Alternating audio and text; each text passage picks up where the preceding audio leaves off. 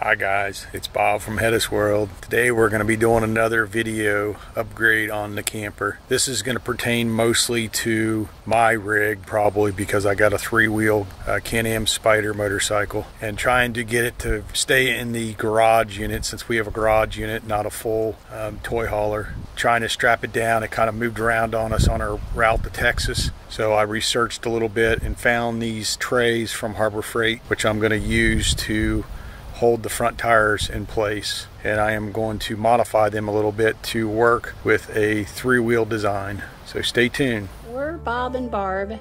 We've lived by the rules all of our lives, but in 2020 we threw that rule book out the window.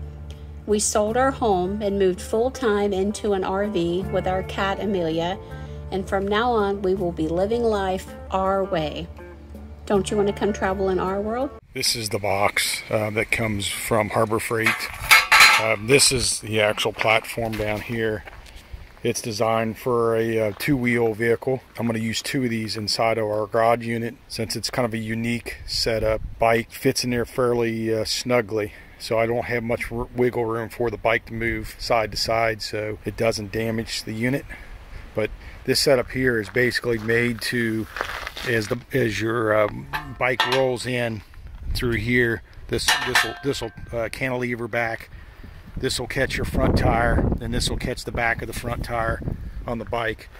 But I am going to modify this unit so it will fit in our garage unit, and I won't use that cantilever on the back. I'm only going to use the front as a stopper, and I'm going to mount this to the floor, and then use these tie downs here. I'm going to bolt them to the uh, to the rails here and I'm going to do some drilling uh, it has little uh, axle bars that go through.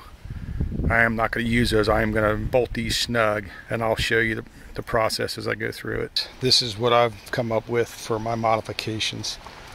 These originally had these little axles here that would go down here and these would tilt back and forth for a single tire. And then you would have one back here in the back this would catch your as you run your your front tire up in here this would swing around and you could lock your back tire in with these bars.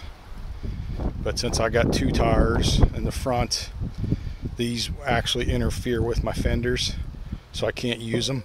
What I am going to do is run my tire up on that up on the front there and then where I got these tie downs here.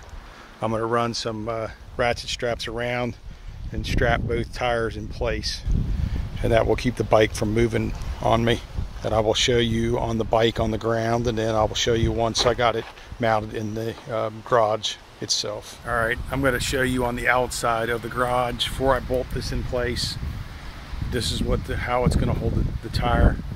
Then I'll have a second one on this side over here. I'll take a ratchet strap and run it through these hooks that came with them, run around the tire and ratchet back over to this pivot point here. That will hold the, that's gonna hold the tire up at snug against here. That's gonna keep my front end. I'm gonna bolt this, this frame is gonna be bolted. So that's gonna make it uh, very secure. And in the back end, I'll just use the factory uh, tie downs they put, Riverstone added to this unit and tie the back tire from uh, shifting back and forth. And that should alleviate my issues of the bike dancing around inside the garage. All right, this is what it looks going to look like once they're bolted in place. As you can see, it's got, got factory tie downs, but they really don't help too much on a three wheeler. It's hard to get in here because it's, it's a, such a tight space. The bike is 105 inches long. Length of this garage is only 110 inches, so I only got five inches to deal with. This allows the nose of the bike to come up to this Ford uh, truck parking only sign, uh, a couple inches off of that. And then in the back, it allows my rear tire to be about uh, three inches off the back door. And what happened is the door collided with the uh, fender or on the uh, trunk on the way down here to Texas. And it put some scratches on the back of the bike, which I've fixed in another video. But um, this is this one bolted in place. I'm bolting down, actually going down through the, the factory frame on this front side. The back side is going through uh, the half inch plywood. I'm putting large fender washers on the back side, and I'm using half inch um, uh, castle bolts. So these are uh, not going to go anywhere. And I'll show you once I get it all back in here and parked in. As you can see underneath the uh, camper on the garage side, these little bolts here are what Riverstone uses for their tie downs I use these half inch anchors. This one's actually going into the, into the frame uh, versus these little guys here. And then I did back here in the back, I did uh, two more half inch um, bolts, lock washers, and big fender washers. So I don't believe it's going to go anywhere. All right, this is the perspective when you're on the bike going up the ramp, just showing you how tight it is um, going up inside here. I got to kind of watch this front tire here and make sure we're good.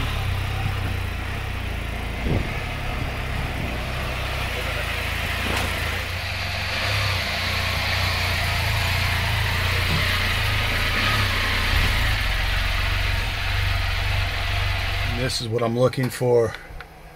Tire up against that side and tire against that side.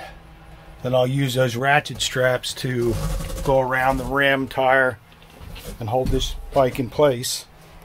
And then what I do on the back here is I, I use the factory tie downs, go around this uh, back tire, loop it, come back over to this tie down, and that keeps it from uh, shifting side to side. And that those front braces will keep me from uh, moving from left to right up front and going forward.